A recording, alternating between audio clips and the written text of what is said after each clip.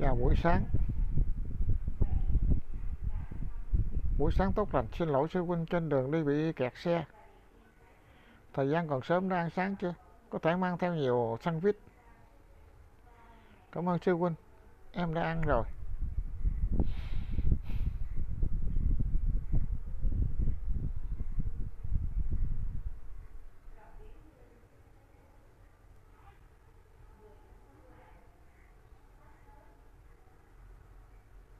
Sao vậy? Trên người em dính gì sao?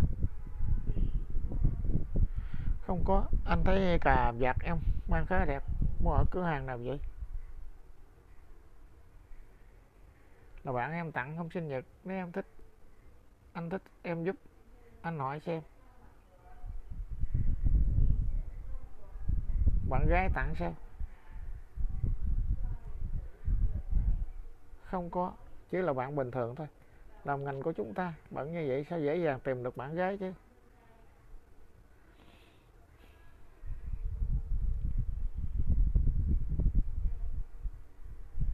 Chắc tổng, dương tổng bọn họ đến rồi. Mời bọn họ vào đi.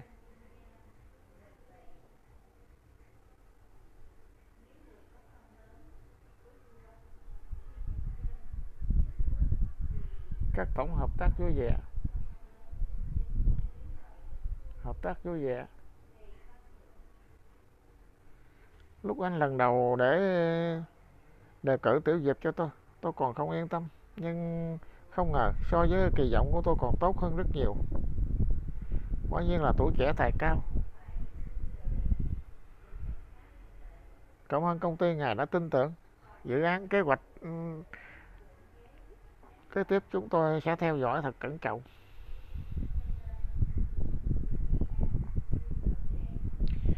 Đây là nhân tài mà tôi giành được từ chỗ thầy giáo tôi. Phải tốn rất nhiều công sức đấy đó là đương nhiên rồi. Ha, giành được là tốt rồi. Sau này chúng ta lại hợp tác với nhau nhiều hơn.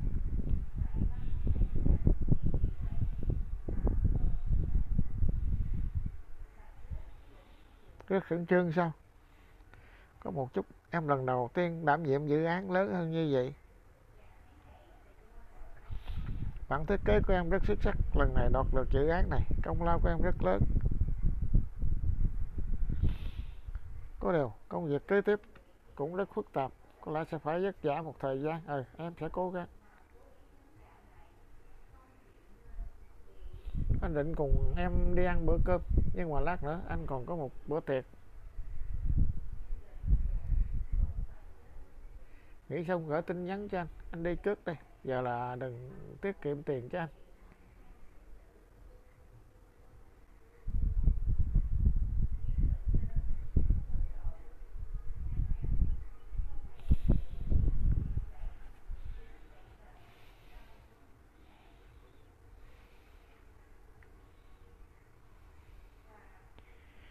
Hướng Diêu lần trước có nhắc đến một nhà hàng. Hắn đã giới thiệu có lẽ không tệ đâu.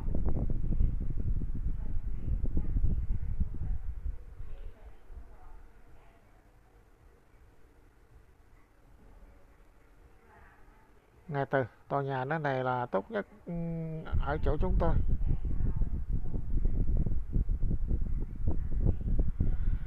Hồ bơi cũng lớn nhất. Mùa hè nếu tổ chức party không còn gì tuyệt hơn nữa. Nội thất trong phòng cũng là mời kiến trúc sư nổi tiếng thiết kế, ngài nhất định sẽ thích.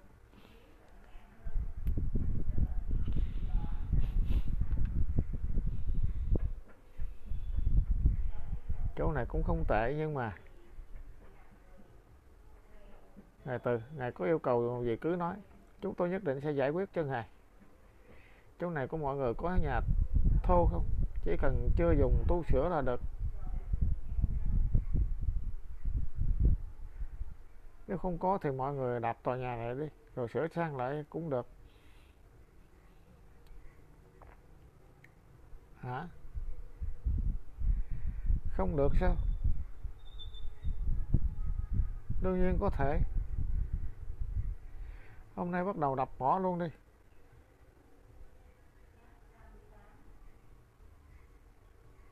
Được được, nghe từ.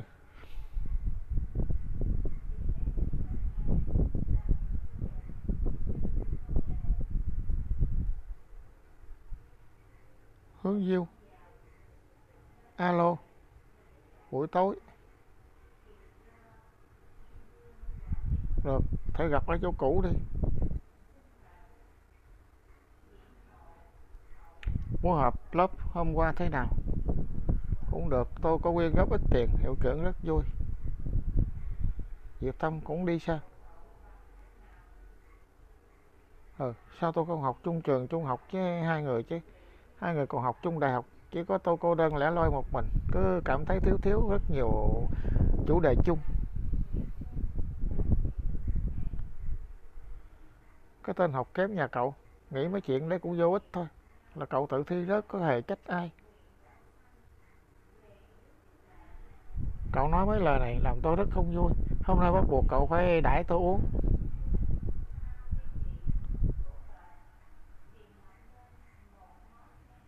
Lần nào ăn thiệt em cũng không uống rượu. À, bây giờ ứng với rượu sao?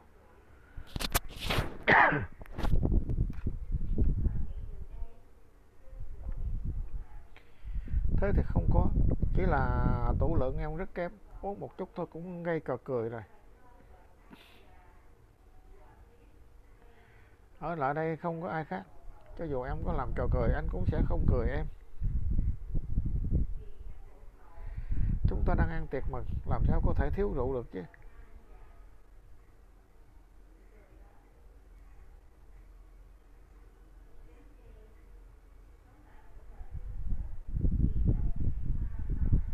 tôi hỏi cậu. Nếu hai người là bạn rất tốt của nhau nhưng bởi vì một số nguyên nhân xảy ra, làm mối quan hệ của họ vượt hơn mức tình bạn có phải không tốt lắm sao? Cậu nói không đậu không đuôi như vậy, sao tôi trả lời được? Có lẽ cả hai đều có tình cảm với đối phương, tình bạn biến thành tình yêu cũng rất thường gặp mà.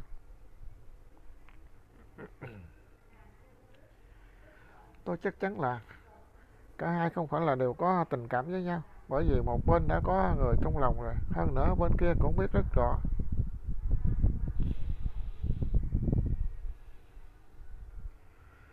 À, thế thì bạn là bạn giường rồi.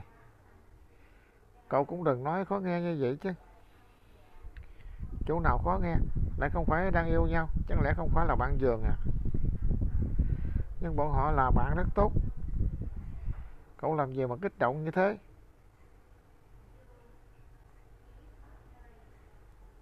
Là chuyện của một người bạn tôi tôi muốn giúp hắn chia sẻ tâm sự. Sao cậu lại có bạn bè không đáng tin như vậy chứ? Tôi tìm cậu tháo gỡ khúc mắc, không phải tìm cậu để chỉ trích bạn thôi. Đối phương muốn bạn, cậu phụ trách ừ, chịu trách nhiệm sao? Đương nhiên không phải, đã nói là bạn tốt rồi mà.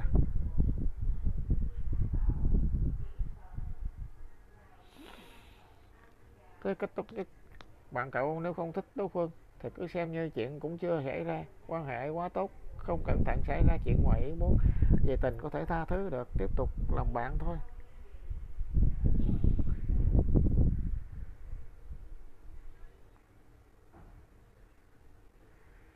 Thật ra loại quan hệ này của bọn họ không phải là một ngày hai ngày, mà là rất nhiều năm rồi. Tôi đã nói là bạn giường mà. Được được. Không phải không phải. Nhưng mà nếu đã nhiều năm như vậy rồi, sao bây giờ? Mới nghĩ đến chuyện giải quyết.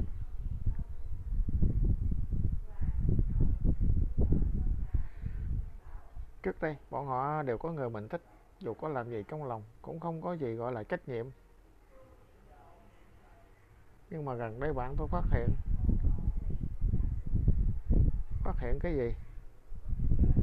Phát đối phương hình như đã có tình cảm với bạn tôi.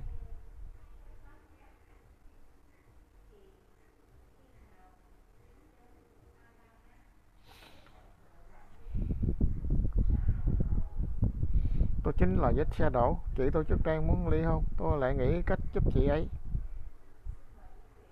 Nhưng không ngờ, anh rể tôi chưa đến mấy ngày đã tìm tới người tới.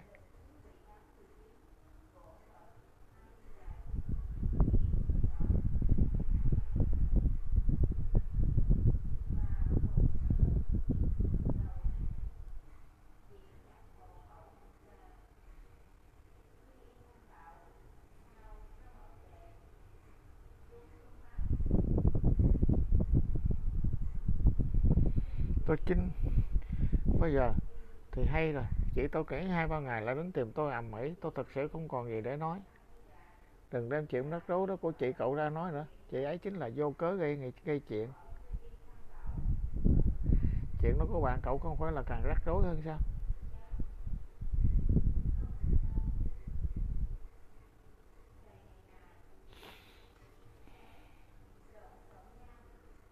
Phải rồi, cậu tuyệt đối không được đang bạn cậu. Cái người lộn xộn này giới thiệu cho Diệp Tâm, không đáng tin chút nào, rõ ràng không phải là người đàng hoàng gì.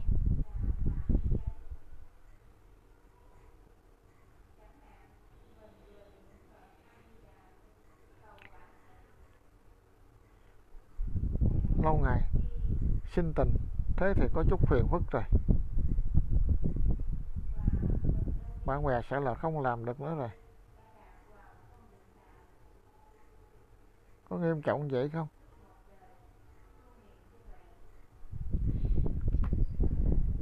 Có thể là làm sao? Bạn cậu rõ ràng có ý rút lui rồi.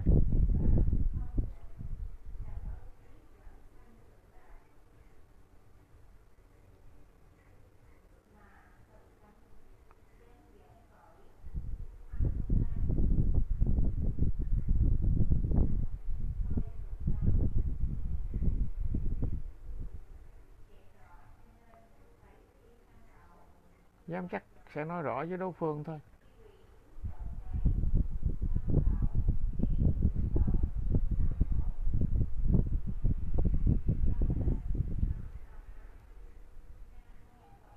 Em ở một mình sao? Ừ.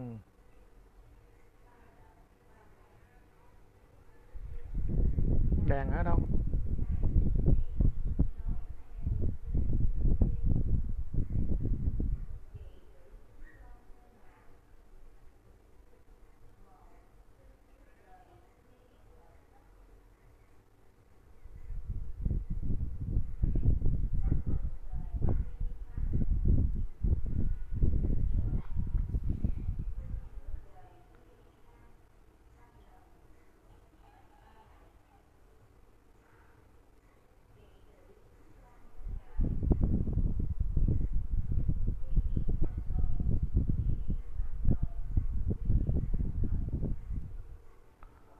em thật sự không có bạn gái sao?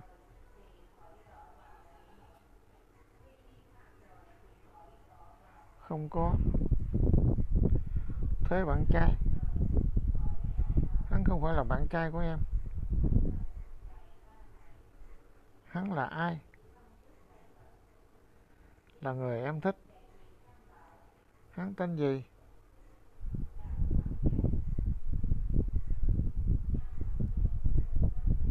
Đau quá.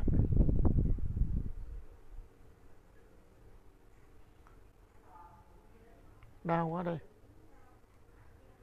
Em say rượu sao lại đáng yêu đến như vậy?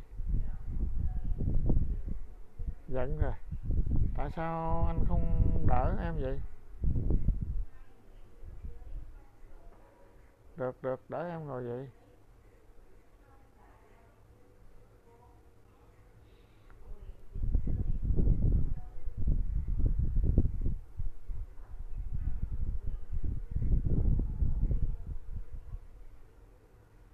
Xem lá có một mình thế này. Anh nhớ em là người ở nơi này, ba mẹ em đâu. Bọn họ đã ra nước ngoài rồi. Ra là vậy nói tiếp, người mà em thích đi. Hắn là ai? Không nói được.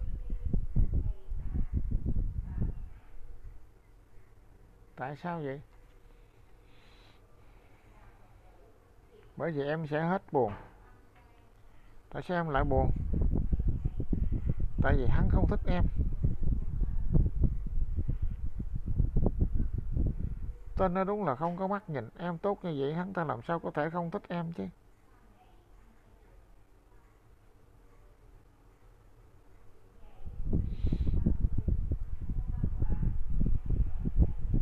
vẫn chưa có bạn trai, vậy thì mình vẫn còn có cơ hội.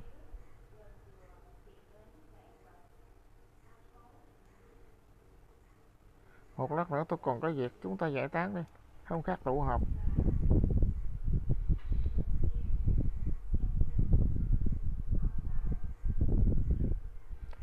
Đã nói rồi. Hôm nay cô, cậu phải đãi tôi.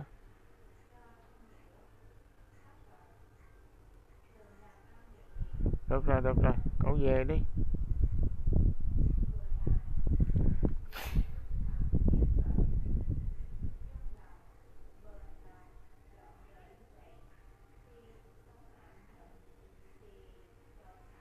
Túc Sắc đã dùng hướng đồng thăm dò, hình như không có hiệu quả gì.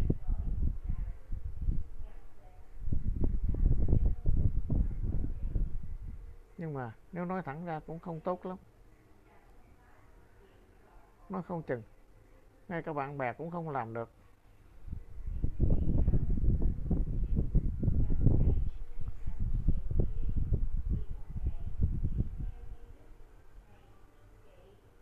Xem sau này không thể lên giường nữa rồi.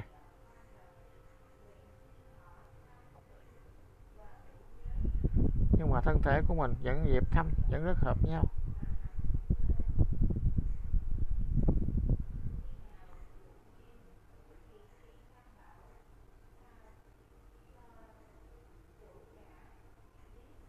Thời gian còn sớm hẹn câu ấy đi ăn khuya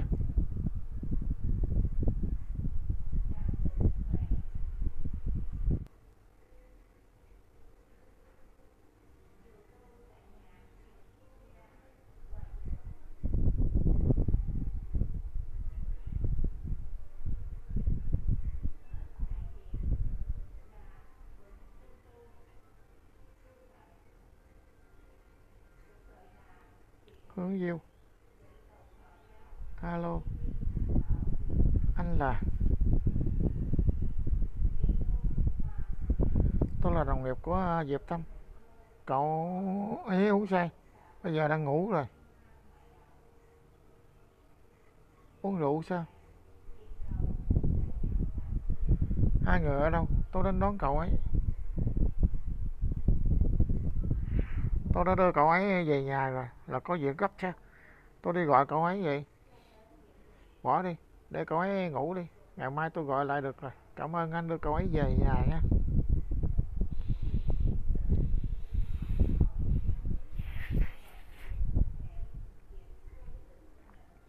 Đều là đồng nghiệp chuyện nên làm.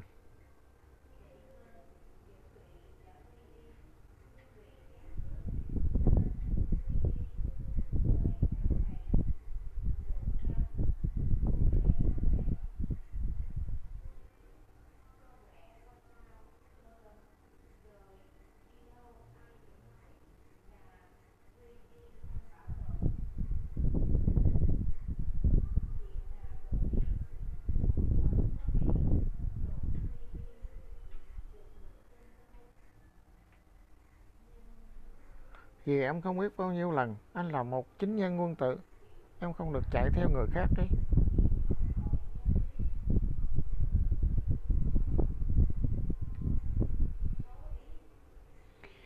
hương Diêu, đã lâu rồi con không có về nhà, cũng ốm đi nhiều rồi.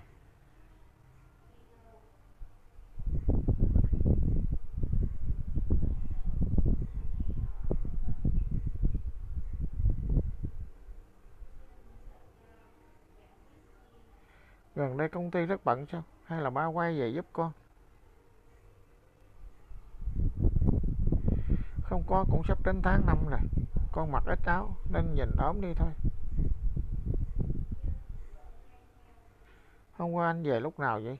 Sao em không nhìn thấy anh? Hơn 10 giờ lúc đó mọi người đã ngủ rồi.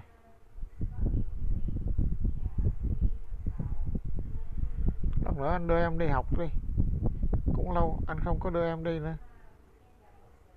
Được, trưa nay anh cũng không có gì làm. Hai đứa có chuyện gì đang giấu mẹ phải không? Kiểu người không biết nói dối, con không có. Không có con đỏ mặt làm gì? Gần đây có người theo đuổi hướng đâu em ấy muốn con giúp em ấy đưa ra ý kiến học cùng trường sao? Người như thế nào? Trong nhà làm gì con? Không không phải. Mẹ, đừng hỏi nữa. Mọi chuyện còn chưa chắc chắn đâu.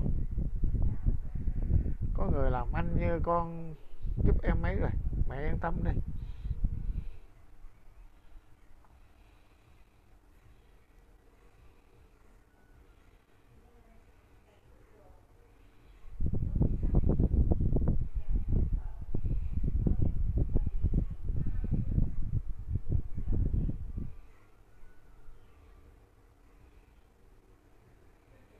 Con qua em bảo con giúp như thế nào rồi?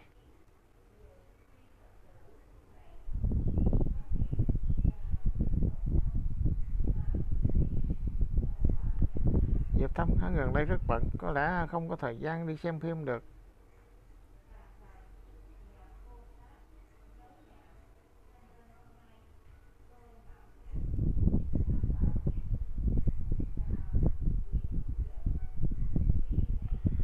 rồi được rồi đưa giúp em. Anh ơi, anh là tốt nhất.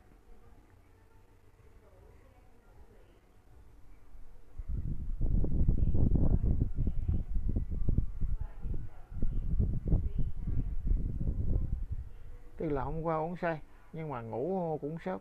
Giờ này có lẽ đã thức dậy rồi.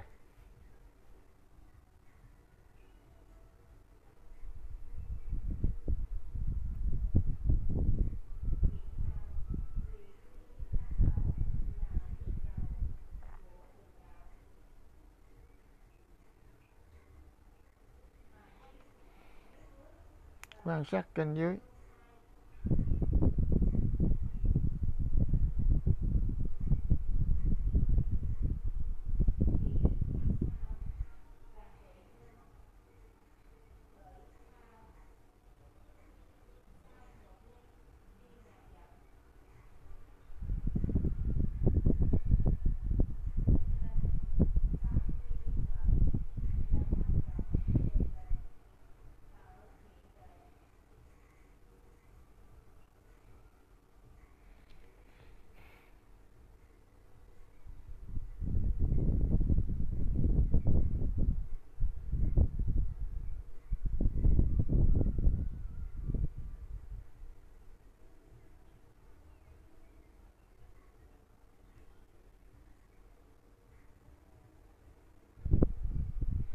cậu tìm Diệp Thâm xem tôi là bạn em ấy em ấy vẫn còn đang ngủ. Cậu ngồi đợi một lát, tôi đi gọi em ấy.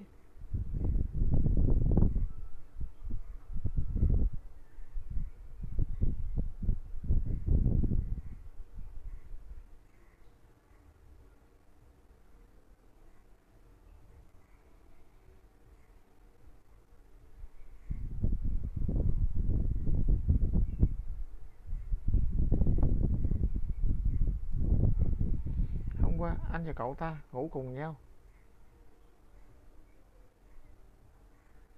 Khẩu khí này, biểu tình này. Người Diệp Thâm nó chẳng lẽ chính là người này? Đúng vậy, tối đêm qua cậu ấy uống say. Đường cũng không biết đi, tôi sợ cậu ấy không tự chăm sóc bản thân nên đã ở lại đây.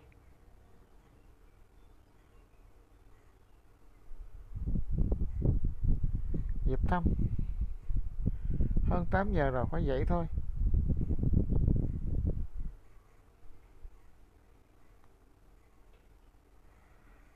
Bạn em đến tìm em. Này, mau dậy đi. Sư huynh. Có người đến tìm em đấy. Ai? Tôi.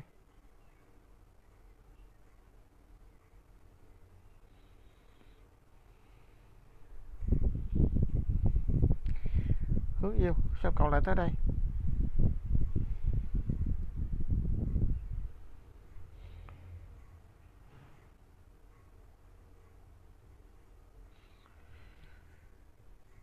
Tới để giúp hướng ờ, đồng đưa cơm sáng cho cậu.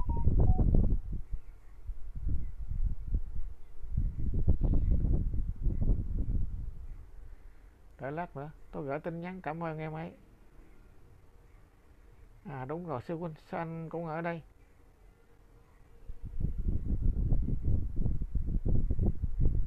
Hôm qua anh đưa em mấy về nhà, em không nhớ sao?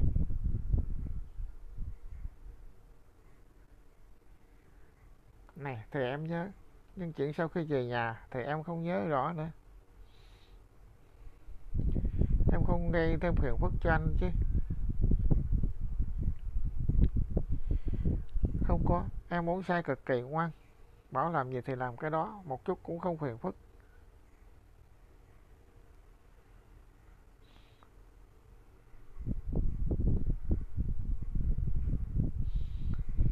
Phải, à, phải rồi, em vẫn chưa giới thiệu hai người với nhau. Hướng Diêu, đây là sư huynh các ừ, Đông. Tôi hay nhắc với cậu, anh ấy vẫn luôn giúp đỡ tôi trong công việc.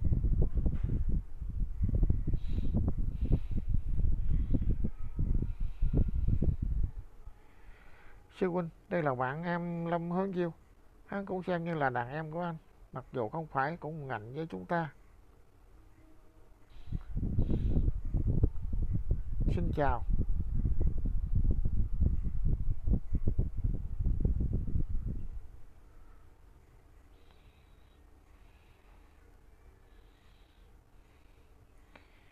Hướng Diêu, cậu ngồi đợi chút, tôi đi đánh răng rửa mặt đã. Anh cũng đi. Nhà ông còn bàn chải đánh răng nào khác không?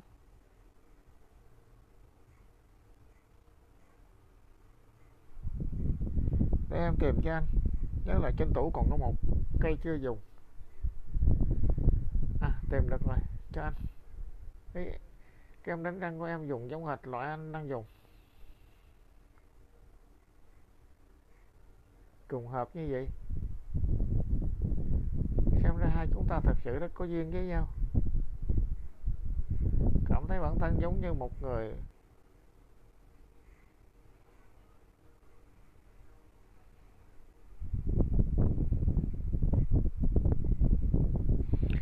Cậu khi không đã uống rượu làm gì?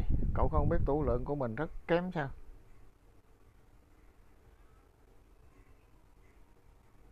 Tôi giành được một dự án, nên sư huynh giúp tôi ăn mừng mà thôi.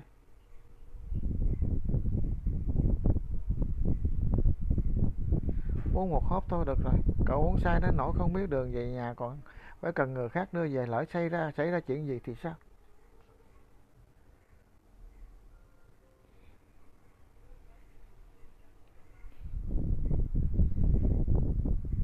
Được được, sao có thể xảy ra chuyện gì được chứ?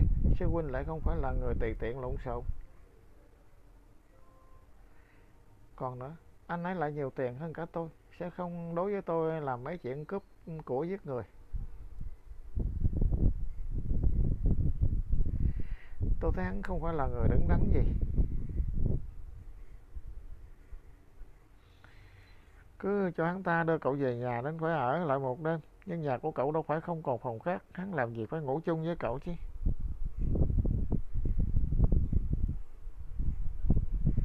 Đều là đàn ông con trai, ngủ chung với nhau, có gì kỳ lạ đâu. Anh ấy có lòng tốt đưa tôi về nhà, cậu sao cứ nói xấu người ta như vậy chứ? Tôi nói xấu hắn. Tôi nhìn đã thấy hắn không phải là người tốt lành gì. Tối qua rõ ràng tôi còn gọi điện qua đây. Hắn cố tình mập mờ nói không rõ ràng, không để tôi đến đón cậu. Sau đó mới có cơ hội lại ở lại đây. Ý đồ này phải rất rõ ràng rồi sao?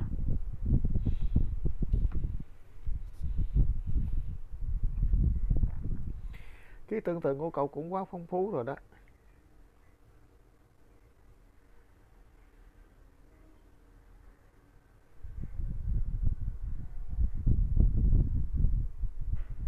Tôi và Thiêu Huynh đã quen biết nhiều năm, nhân phẩm của anh ấy tuyệt đối không thể có vấn đề.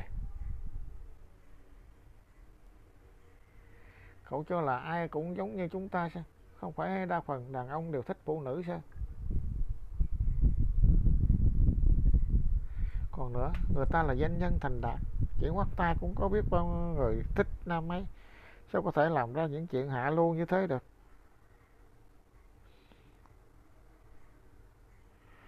cậu đừng nghĩ người khác xấu xa như vậy sống trong sáng một chút đi sống trong sáng một chút đi tôi chỗ nào không trong sáng. Đúng rồi, đừng nói chuyện của sư huynh nữa, chuyện hôm qua, tôi vẫn còn nhớ cậu. Nhớ đó, hôm nay cậu lại giúp hơn đồng đưa cơm sáng tới là có ý gì? Là tôi nói chưa đủ rõ ràng sao? Cậu đừng có hại em ấy được không?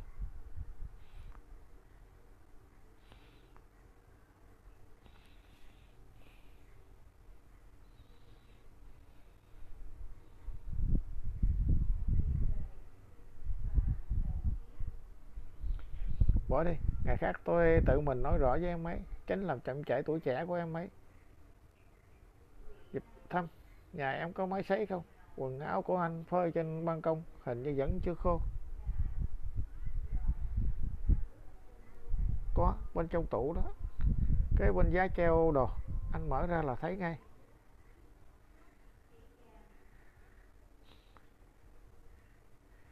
Không đúng cậu nói hôm qua sau khi về nhà, cái gì cũng không nhớ. Vậy ai thay đồ cho cậu?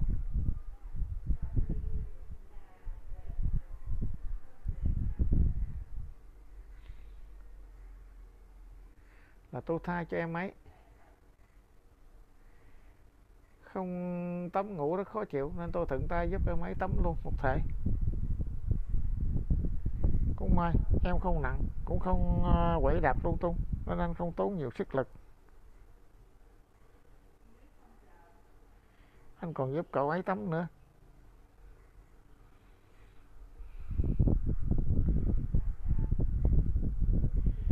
Có vấn đề gì sao? Vừa nãy tôi đã nói cái gì? Sống trong sáng một chút.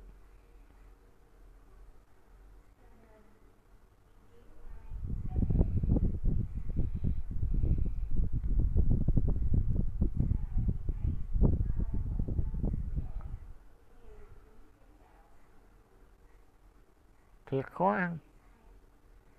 Lỡ cô ta bị cái gì à? Trên lớp, hắn nằm không cũng trúng đạn.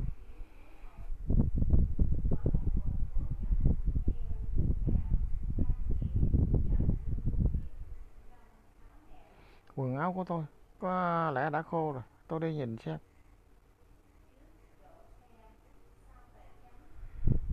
Hoa rồi, tôi đi thay quần áo.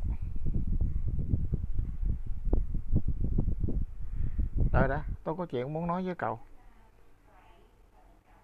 Hả?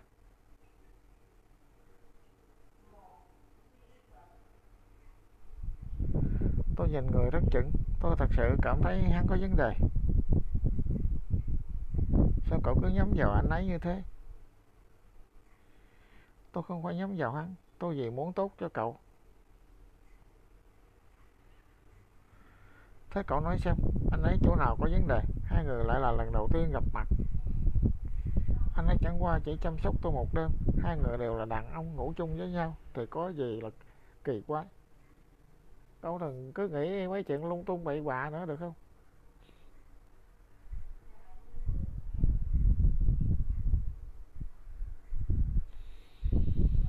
Thế tôi hỏi cậu, chúng ta quen biết nhau nhiều năm như vậy, tôi đã từng nổi giận với cậu chưa?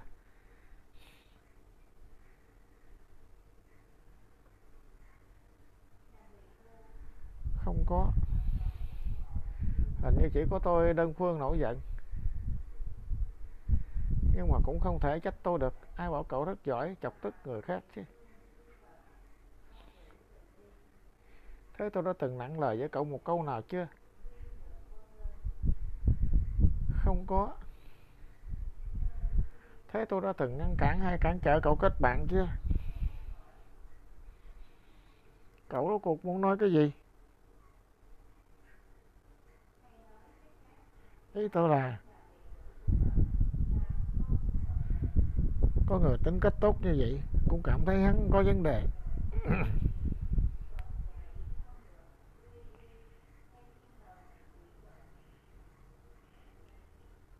tính cách cậu tốt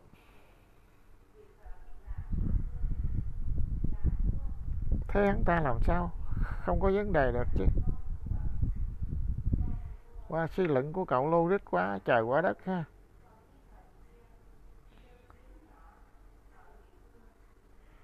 Anh thay xong rồi.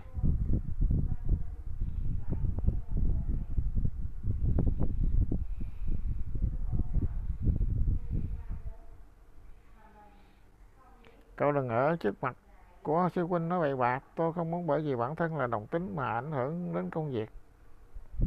Sư huynh đợi em một chút, em lập tức xong ngay. Không dội, em từ từ thôi.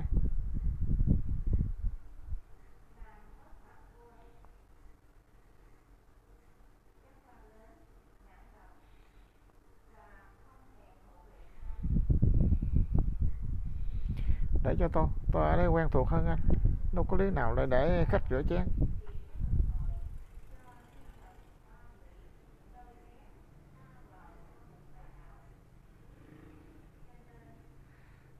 Ngày lắm, hình như có hiểu lầm gì với tôi nhìn tôi giống như người xấu như vậy sao? Trong lòng ngài chắc biết rất rõ.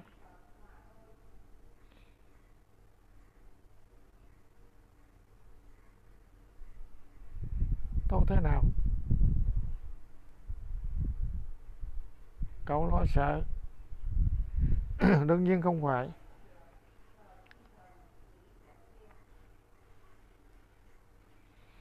Thế cậu tại sao lại nhầm vào chỗ tôi như vậy? Em ấy là độc thân. Tôi dù có cố ý muốn gì với em ấy thì cũng không có vấn đề gì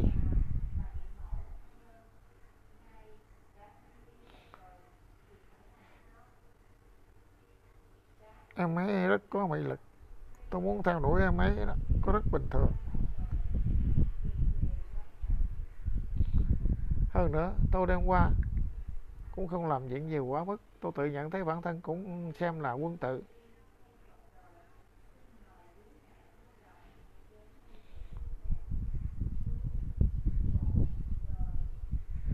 thế anh có biết cậu ấy đã có người mình thích không? Anh chẳng qua chỉ đang phí công vô ích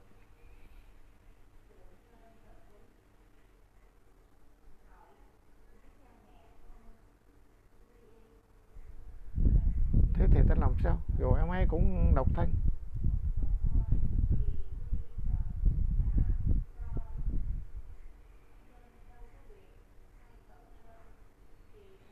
Chưa từng thấy tên nào về mặt chú sĩ như vậy.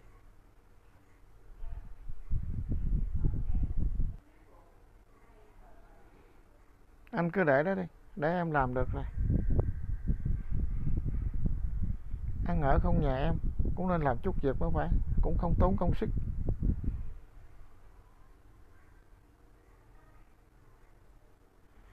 Hôm qua tìm cậu, nhưng cậu ngủ rồi. Tôi có chút chuyện muốn nói với cậu. Tối nay hẹn ăn cơm đi.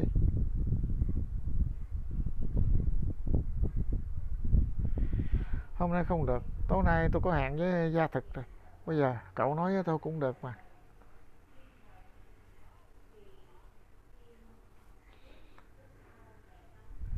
Cậu hẹn hắn có chuyện gì?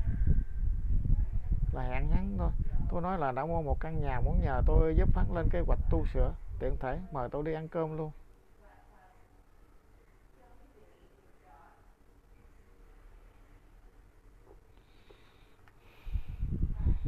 Bây giờ có thể nói rồi chứ.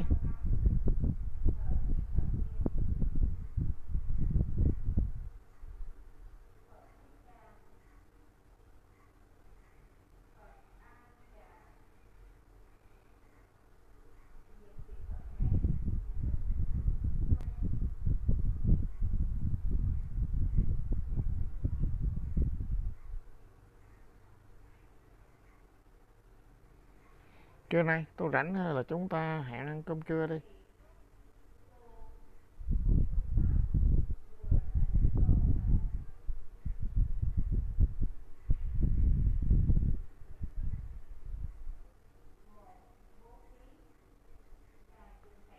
Nếu không được thì hẹn hôm khác đi.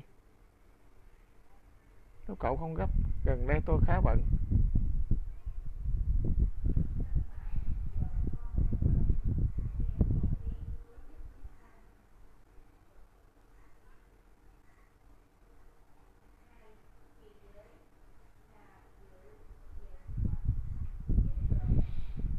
thế để hôm khác đi. Đợi cậu có thời gian rồi đấy đúng là cuộc hẹn hò tối nay. Tôi cùng đi nữa. Cậu ta mua nhà mới không nói với tôi đã đành, lại còn không mời tôi ăn cơm.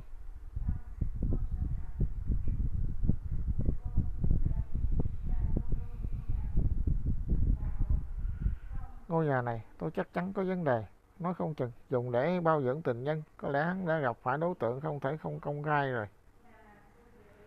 Cậu đừng nói với hắn tôi cũng đi. Tôi phải dọa hắn mới được.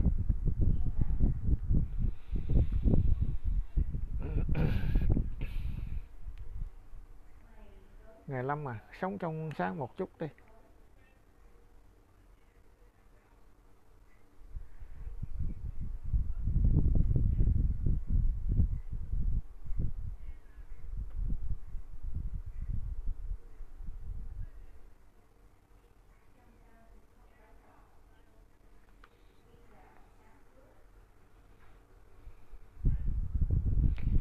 sao tôi không không biết chuyện này. Tôi cần phải nói riêng với cậu.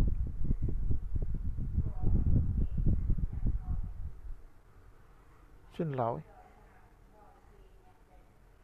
Chuyện này tôi cần phải nói riêng với cậu mới được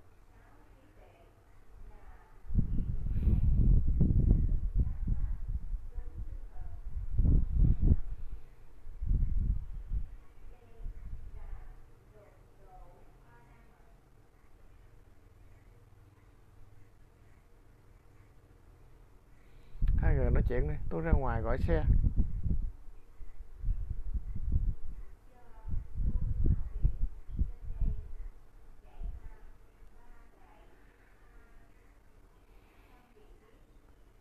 Lên xe đi.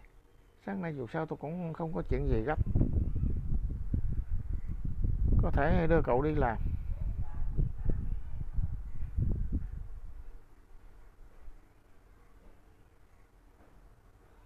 Tài thật ngại quá.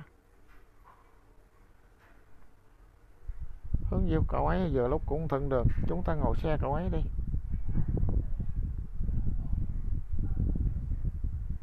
Làm phiền cậu rồi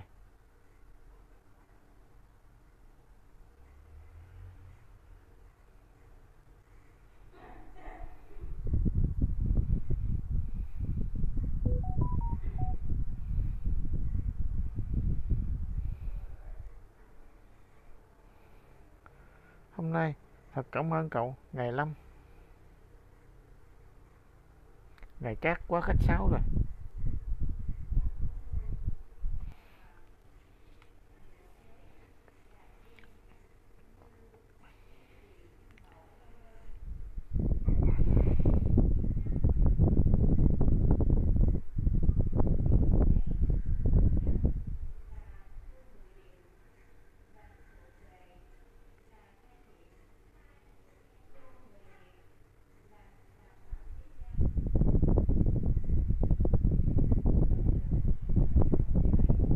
dịp thông ca thật đó nhưng mà anh, em lại có ý kiến chơi ba em nó cực kỳ khó khăn.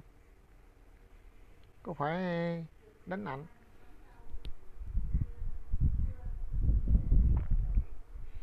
Cứ ăn đồ em làm mãi, anh cũng rất ngại.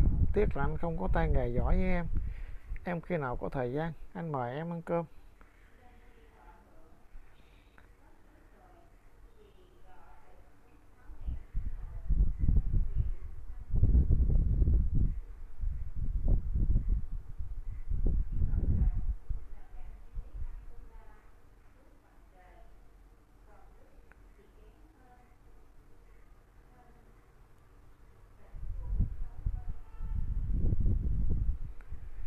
Sao vậy? Lại muốn tìm tôi uống rượu sao? Hôm nay tôi không có rảnh. Tôi nghe Diệp thăm nói cậu đã mua nhà mới, muốn mời cậu ấy ăn cơm, sao cậu không mời tôi?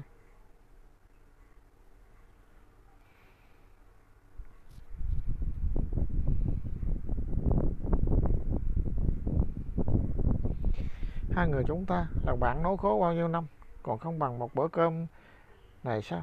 Tôi mời cậu ấy là muốn cậu ấy giúp tôi sửa sang lại căn nhà cậu đừng có biện hộ.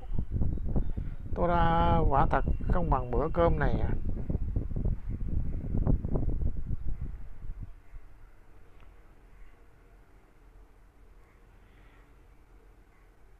Hắn một mực muốn đi theo, lại đến tận công ty đón tôi còn không cho tôi nói với cậu.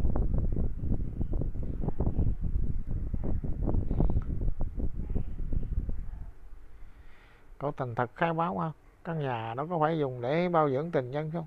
Cậu đã có bạn gái rồi. Cậu đừng nói vậy tôi là người nổi tiếng nghiêm túc, đúng đắn. Cậu không có được phá hoại danh tiếng của tôi đâu. Cậu khẩn trương làm gì? Quen bạn gái thì có gì mà không đúng đắn? Cậu chính là đang giấu đầu lòi đuôi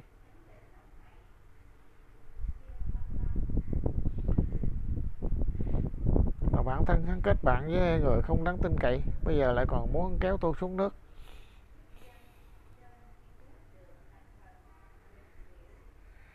Bạn bè không đáng tin nào chứ. Ha hàm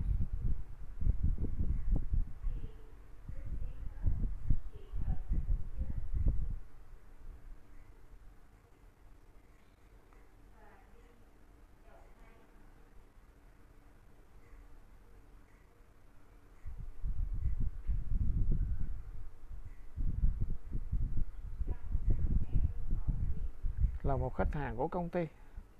Tôi đi ra ngoài nghe điện thoại một lát. Bây giờ có thể nói rồi chứ. Rốt cuộc người cậu muốn giấu là ai? Tôi nói với cậu không có giấu người nào rồi mà.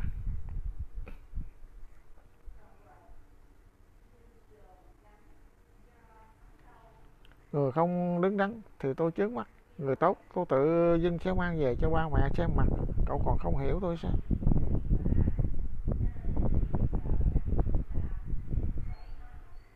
Thế sao cậu đột nhiên lại mua nhà? Có để dịp thăm tu sửa cho cậu. Hắn gần đây công việc bề bộn. Cậu đừng gây thêm phiền phức cho hắn nữa. Dù sao, tôi cũng không có gấp từ từ sửa sang được mà.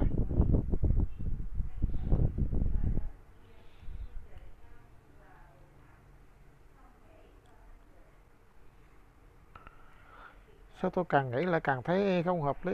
Cậu rốt cuộc có muốn làm gì?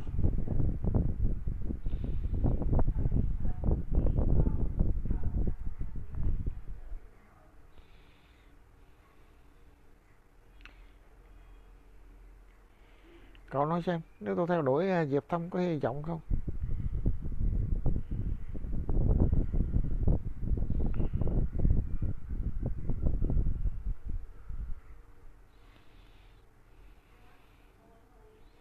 Cậu nói cái gì? Cậu rốt cuộc có tập trung nghe tôi nói không vậy? Không phải, cậu trước đây không phải là từng quen bạn gái sao? Diệp thân hắn là nam.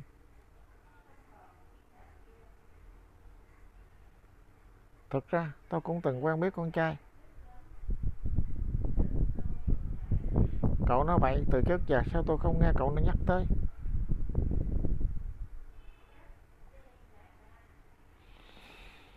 Rồi thật, chuyện đó là hồi năm đại học, cũng không quen được mấy ngày nên tôi không giới thiệu cho mọi người. Không nhắc cũng tốt, quen được ba ngày.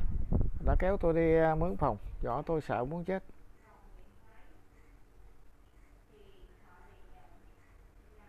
Nhưng tôi không có đi à nha tôi đâu phải người tùy tiện như vậy chứ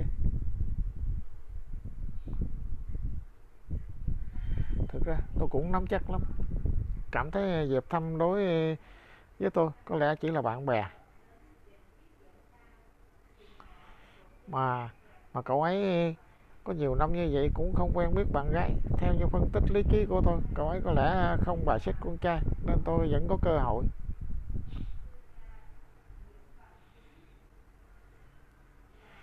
Suy cho cùng một người vừa đáng tin, cậy lại có điều kiện giống như tôi, cũng không có nhiều cậu thấy sao? Tôi thấy cậu là đồ không biết xấu hổ. Cậu để tôi yên tĩnh một chút. Cậu sẽ không phản đối chứ. Tại sao chỉ trong một ngày, đùng một phát, người thích dịp thăm ở đâu chạy ra nhiều như vậy?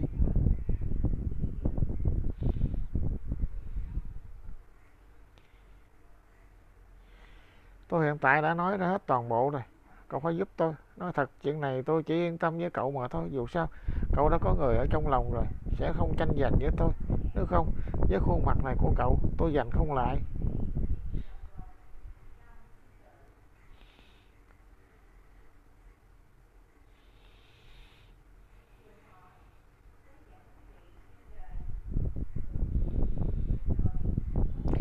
Hay là cậu giúp tôi thăm dò thử xem.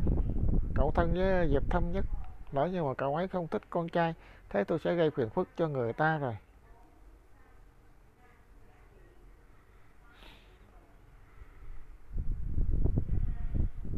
Cảm thấy bản thân gặp phải quả lớn.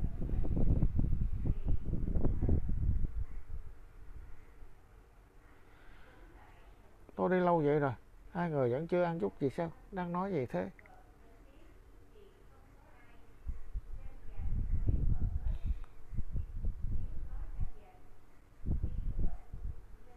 Cũng không có gì. Tôi chỉ cảm thấy mấy người chúng ta đã lớn già đầu thế này rồi mà còn cả đám đều độc thân, cũng quá khó coi. Chúng ta mới 25 đâu phải là 52 già cái gì chứ. Sao vậy? Đã để ý ai rồi sao?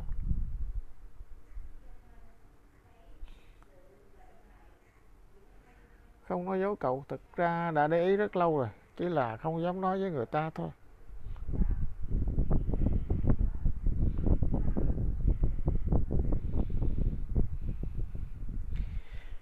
Cậu lúc nào trở lại nên kín đáo như vậy? Dấu cũng kín quá nha. Đây là người tôi thích thật lòng. Dĩ nhiên là phải khác biệt rồi. Làm sao có thể tùy tiện qua lo được chứ? Nó cũng phải. Thế đợi cậu theo đuổi được rồi. Phải giới thiệu cho bọn tôi biết đấy.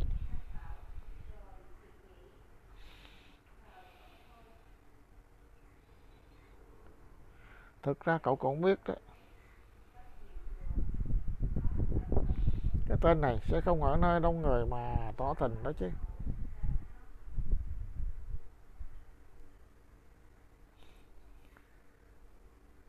Tôi biết. Bạn chung của mình với họ cũng không nhiều con gái lại càng ít.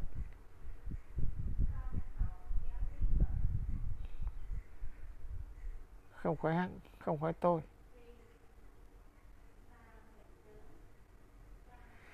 Hai người có bệnh gì à? Làm tôi hú hồn à.